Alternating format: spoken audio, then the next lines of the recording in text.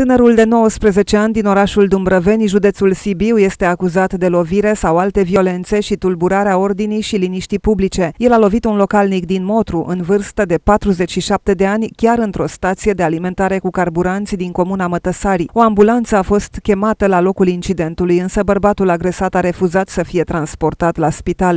La data de 13 mai anul curent, polițiști din cadrul secției 3 Poliție Rurală Motru au reținut pentru 24 de ore și introdus în centrul de reținere și arestare preventivă a Lipeje Gorj, un tânăr de 19 ani din orașul Dumbrăveni, județul Sibiu, bănuit de săvârșirea infracțiunilor de lovire sau alte violențe și tulburarea ordinii și liniștii publice.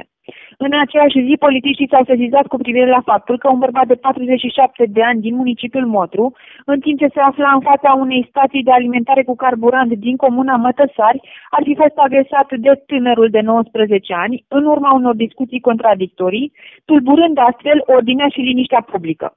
Victima nu a solicitat transportarea la, la spital pentru acordarea de îngrijiri medicale, iar cel în cauză va fi prezentat astăzi parchetului de pe lângă judecătoria Motru cu propuneri corespunzătoare. Tânărul agresor riscă să petreacă următoarea lună în arest, polițiștii deschizând un dosar penal pe numele lui.